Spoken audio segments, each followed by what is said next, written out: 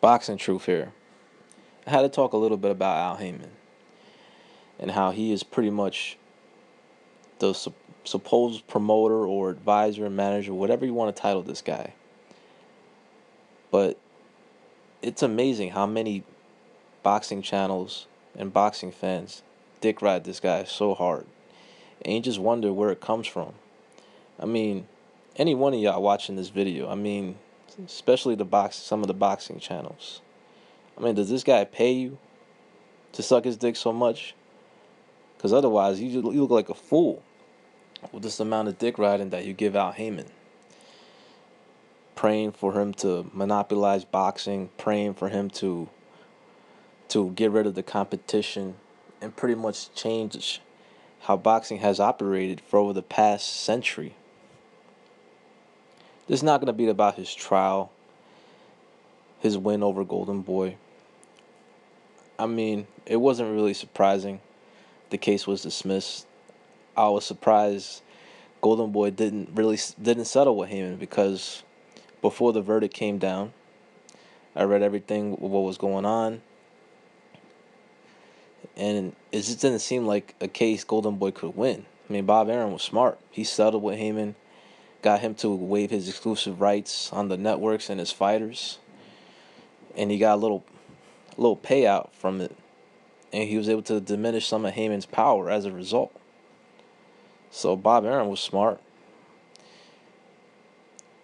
He was able to get some a little cash flow coming in, and he diminished Haymon's power. And Golden Boy, they left with nothing. Spent a whole bunch of money on lawyer fees, and then come away with nothing. It was a weak case what they had, especially after after Haymon waived his exclusivity clauses, especially after doing business with with one of Haymon advised fighters. All it did was weaken the case of Golden Boy. But I just don't understand like where the dick riding comes from for, for Al Haymon. I mean, why are boxing fans rooting for a sole promoter or a sole manager or advisor? I mean, what's the fucking matter? Why are boxing fans rooting for just certain promoters? It's about the fighters. I don't care about all the promoters in the game. There's some promoters that make the sport interesting, no doubt. Bob Arum makes the sport interesting. Eddie Hearn makes the sport interesting. Uh, Richard Schaefer makes the sport interesting. But those guys know what they know how to promote their fighters. They know how to create anticipation. They have their own style of doing things. Al Haymon, he doesn't talk to anybody. The only thing interesting about him is he's a mystery. He's a mystery in boxing. He's a mystery when it comes to his power, but now everything's all out there. We all know why he's been been able to have this power for so long. We all know why he has over 200 fighters under his stable. He treats his fighters good, no doubt. That's why no no fighter will go against him. Well, the fighters that are that are taken care of properly, that he really has on his high on his, on his totem pole, that he, he really wants to uh, take care of. But with so many fighters, he can't make everybody happy, and some fighters have have spoken out against him. But the reason why I wasn't down with Haymon's plan with the PBC is because he was trying to monopolize the sport. I don't want boxing to be monopolized. Boxing has never been monopolized. That's why I love boxing. That's what makes boxing so much different compared to any other sport in America, especially in America. I don't want boxing to turn into a league, and that's what Haymon was trying to do. Turn it into a league to where boxing is only one entity. Boxing has never been like that. It's never been monopolized.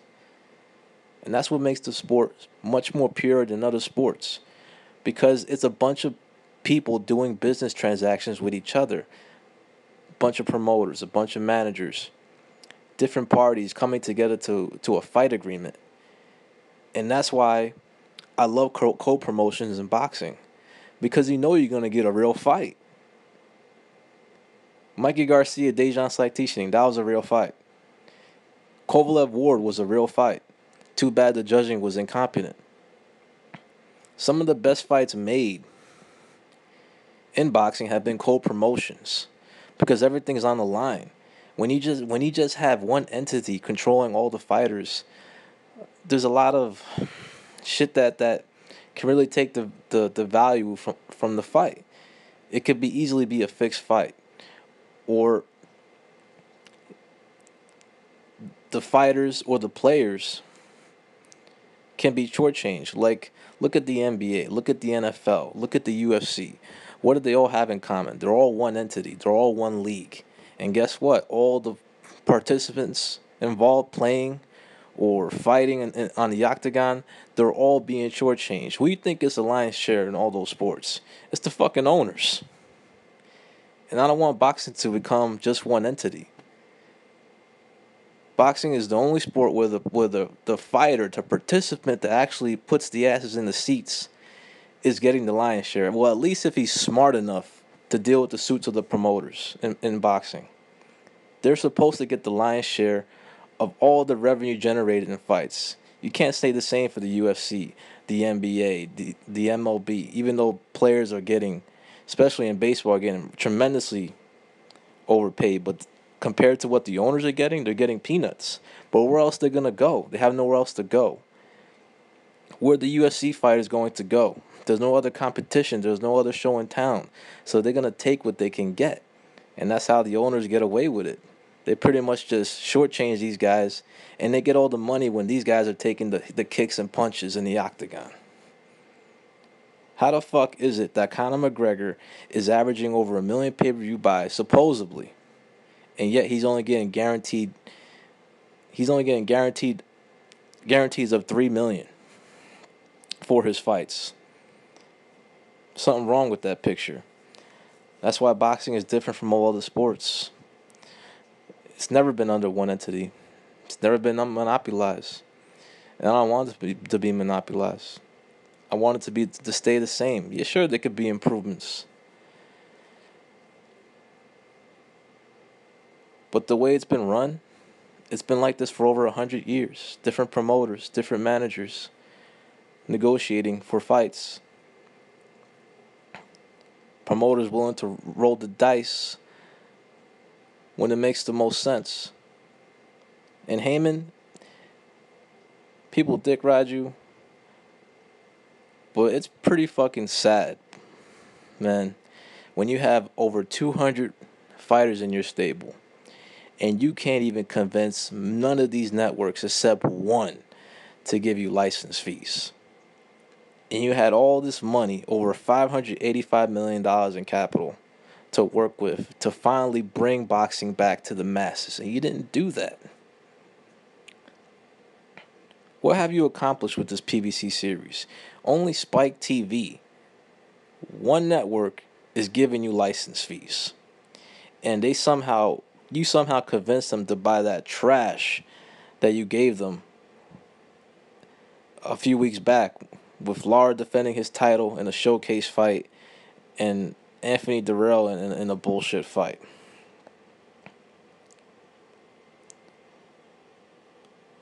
But it's pretty sad that you can't convince a lot of these networks to buy your product. You did try, I'll give you that. You you you approached NBC and you you was hoping for license fees, but they flat out turned you down. So then you came back with all this money, spent spent millions of dollars of, of airtime to showcase your product but you really didn't take advantage of it, man. Doesn't seem like none of these networks are interested in your product.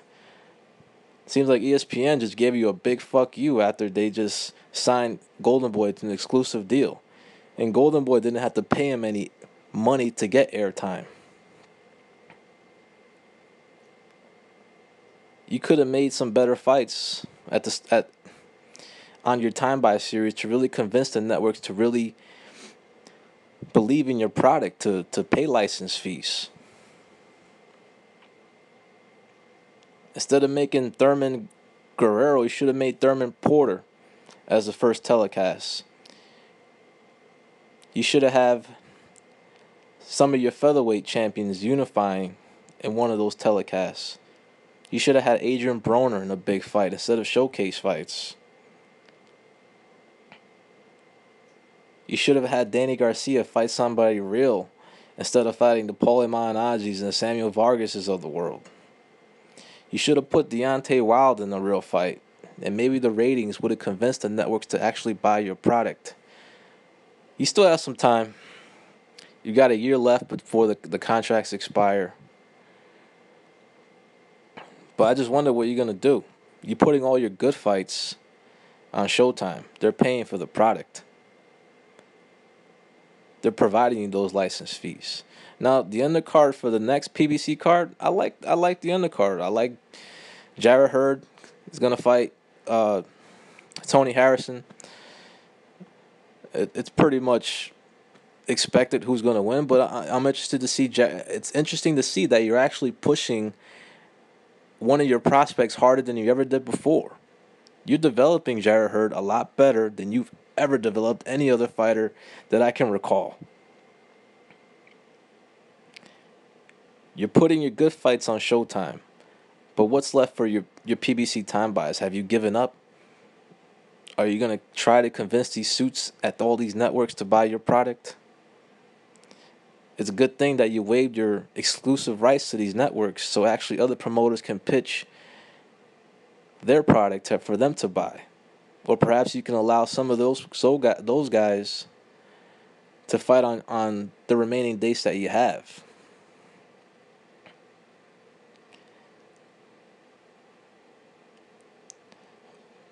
But just wanted to talk a little bit about Al. I don't hate the guy. Don't even know who he is. Just know what he looks like. I know his backstory. I know what got him into boxing. He's a smart guy, controversial guy. Know some of his personal details as well, which I'm not going to get into. Everybody has their vices. But at the same time, you have all these fighters, but yet none of, none of them are banking on that pay per view level. None of them are even close to becoming a pay per view star. I like that you got Thurman Garcia on free TV, but we all know why that's on. That's not on on pay per view because that fight won't even do more than Kovalev Ward pay per view numbers. That's another issue you got, man. Who's gonna be your next star? You're protecting Wilder as long as you can until you'll you'll cash him out in a big fight. In a fight that he's most likely going to lose. So you're gonna try to avoid that mandatory whenever the WBC can set it up. Other fighters in your stable, Keith Thurman is a guy you really could push into bigger stardom. He's got he's got some some some tools about him that can make him a bigger star. Is he a great fighter? That remains to be seen. He's still a young guy. Maybe he can improve. But he's got the the personality. He's got the, the some charisma to perhaps be a bigger star than he is. I don't see that with Danny Garcia. Adrian Broner, that's another guy he really could have pushed into a bigger star, but he wasn't good enough. He couldn't pass the tests, Maidana test. So you have to look other elsewhere for who's gonna be your guy. Floyd Mayweather's retired, and all he think he's all he's thinking about is a cherry pick fight with Conor McGregor. And another thing, it makes me wonder what your relationship is like with Richard Schaefer. I really wish one reporter would ask Richard Schaefer at, at all these Haymon advised events. So I really wish one reporter would just ask Schaefer, so what's in it for you? You're promoting these events, right? But you don't promote none of these fighters. None of these fighters have promotional agreements to you. So what's in it for you, Richard? Why are you putting on events where none of these guys are actually signed to you? Go look on his site. He's got none. None of these guys assigned to him. He's still developing his stable. He's got an interesting deal with David Haye, but other than that, he's really got no no marquee fighters on his list. I mean, what is that alliance about? What I mean, where is that heading? What are you two up to? But we'll see how, how Haymon deals with his his time buys for the rest of the year. There's still gonna be there's still fight dates remaining on ESPN. Fights coming up on Fox, supposedly NBC. Uh, what other network he got? But he's only got one network paying license fee, and that's Spike TV. But if you can get other networks to pay for your product, man, then you're really doing something good for the sport. You're getting the the networks that have long not have been interested in boxing actually pay for your product and actually pay for your fights because that's the end goal here. It's not about buying time, it's about getting paid for these fights. And are you making any money? Have you made any money from this PBC venture? Doubt it, man. You've lost hundreds of millions of dollars. That doesn't seem like it will be even be retrievable. But I'm gonna end this video right here. We'll see if Haymon will finally take risks with other promoters, put his A sides with his other A sides. Will he put on better fights on his time buy networks? And will he finally create another star in his largely vast but lacking superstars in the stable? This is Boxing Truth. I'm out.